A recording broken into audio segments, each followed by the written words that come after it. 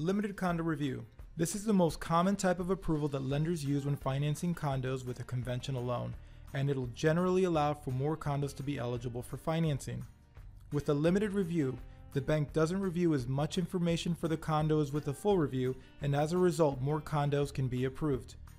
The main thing to look into with this type of approval is whether the condo you're considering is involved in any type of litigation that can possibly make that condo ineligible. There are other things the lender will have to look into to approve a condo, but litigation is by far the number one reason a condo will be ineligible for a limited review. With a limited review condo approval, we can finance the following a primary home with a 90% combined loan to value or 10% down, a second home with a 75% combined loan to value or 25% down, and an investment property with 30% down. The key to understanding this type of approval is knowing what combined loan to value is. For these loans, Fannie Mae allows us to finance these condos using a combination of two loans. Let's take a quick look at how this works for a primary home purchase with 10% down for a $100,000 condo. The primary loan would be for 75,000. This is exactly 75% of the purchase price or what we refer to as 75% loan to value. We would then provide a second loan for the additional 15% of financing.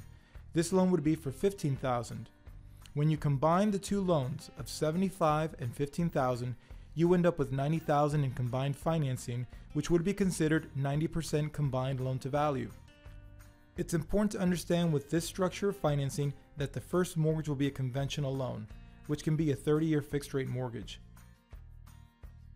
The second loan will be a home equity line of credit, which we abbreviate and refer to as a HELOC. This type of loan has a variable rate of interest and is not fixed. HELOCs have very different terms than a conventional loan, so please call us for more information on how this type of loan works.